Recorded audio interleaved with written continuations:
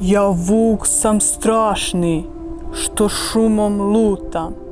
I kad sam gladan, sve progutam.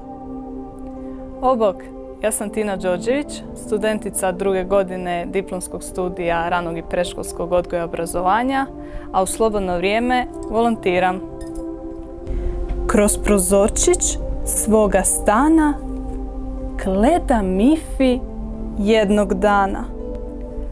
Potrčala, onda stala, snježak bijeli ugledala.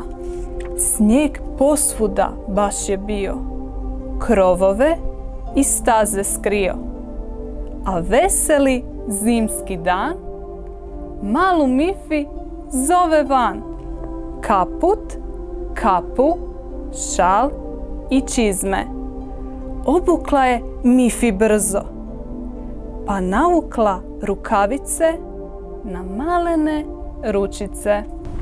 Najzanimljivije od svega je kako se preplašena srna koja se pojavila na našim vratima prije četiri godine i rekla ja želim volontirati u knjižnici, pretvorila u vuka koji je htio biti druge boje. S pričanjem priča djeci u knjižnici počela sam se baviti prije otprilike četiri godine jer sam htjela dobiti više iskustva u radu s djecom, a i pokazalo se kao odlično mjesto za suradnju s roditeljima i zajedničko učenje.